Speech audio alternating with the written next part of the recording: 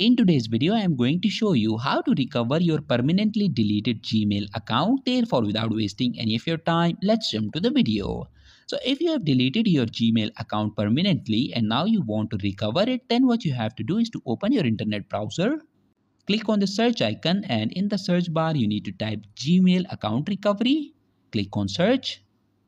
Now click on this first link that says how to recover your Google or Gmail account scroll down and click on this option that says recover your Google or Gmail account. Now enter the email address of the deleted Gmail account that you're trying to recover and click on next. And that's it. Your permanently deleted Gmail account is now recovered.